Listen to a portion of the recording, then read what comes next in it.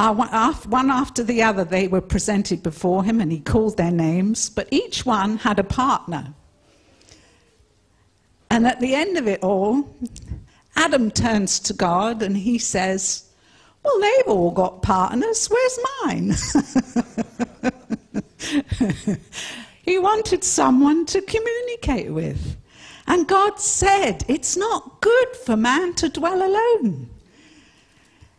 He's realized, he knew from the very beginning that wasn't his creation wasn't completed with man. It's not good for man to dwell alone. He, he enjoyed the animals. It was great. I'm sure he enjoyed naming them and laughing at the different types. But he didn't have someone to communicate with himself. People joke, don't they? They say, What's so nice about a dog, having a dog is it can't answer back. but truthfully, that's no good, is it? we have been given a tremendously precious gift of communication.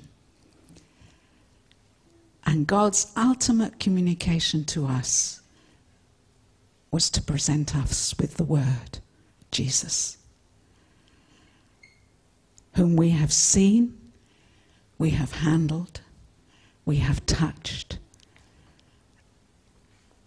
And in 1 John 1, verses 1 to 3, we get the description of all the different types of communication that God used to present Jesus to us.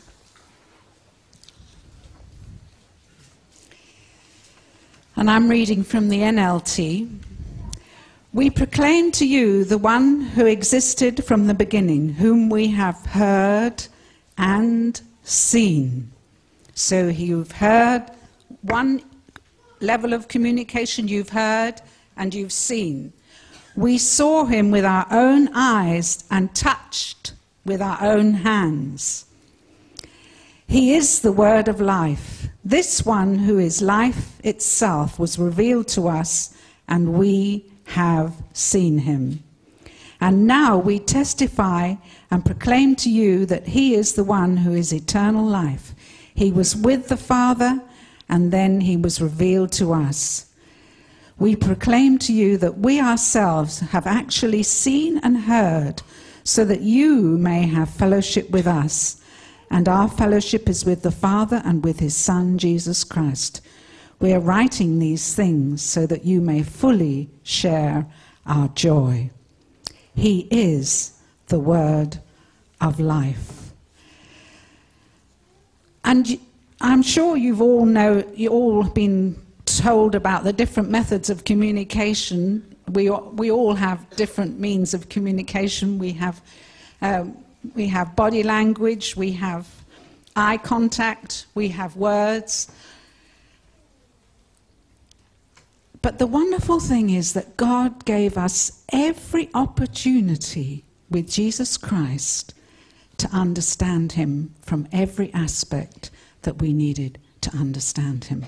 We've seen, we've heard, we've touched. And he says, We're sharing it with you so that you will understand as well. You will have that same knowledge, just as if you had been there at the time like we were. You have the same understanding of Jesus. Exactly the same by the Spirit of God. And the most important thing that we communicate, when we communicate, is that we communicate the truth. And the truth must be not only with the words, it must be with the life, it must be with everything about us our facial expression, our eyes, everything. And when you get someone who is totally true to themselves,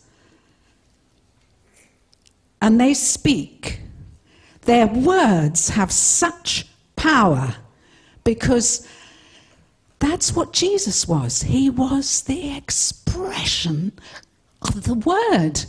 And why he was full of grace and truth is because he was true totally to himself.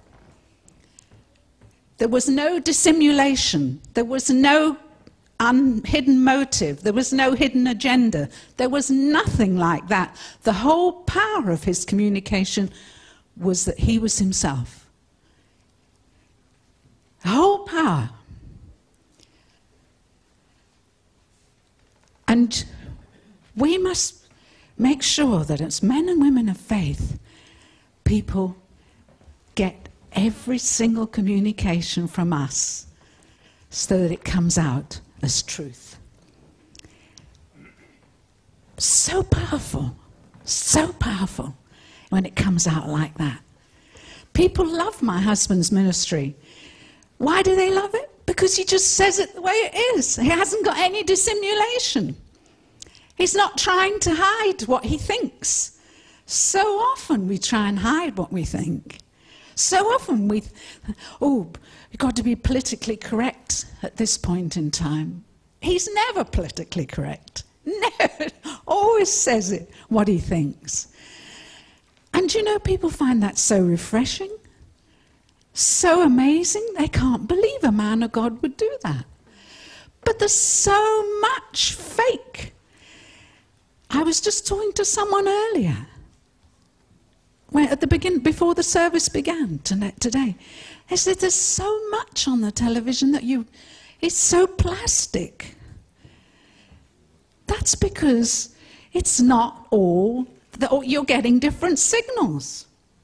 You're getting a signal that, well, he's putting on a show. It's not real. It's not what he is in his normal life. So many people say of my husband, what you are in the pulpit, you are in your everyday life. That's what it's that's communication.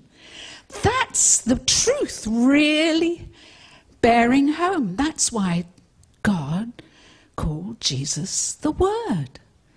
Because it's so powerful.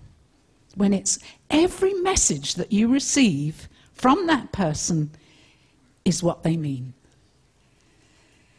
is what they mean. They say in the police nowadays that uh, they no longer rely on um, the lie, lie tests. Well, I've forgotten what them. Uh, lie detector. They found them to be very unreliable because people can um, train themselves because they train, they, do, they, they measure the heartbeat and they measure the amount person sweats and things like that. People can train themselves not to react to those things so that it doesn't work. But they have found that there is always something in the manner of a person that can tell you when they're lying. There's a little downward movement of the eyes, little twitch of the mouth, whatever it is, there is something that if you're a very keen observer of men and women, you can tell when they're lying. And they find that so much more reliable than a lie detector. So every single thing has to mean what you say your life, your words, and your children, and your wife, and your husband mustn't get a double message from you. However much you say sweet things with your mouth, they'll be able to tell what the rest of the message is.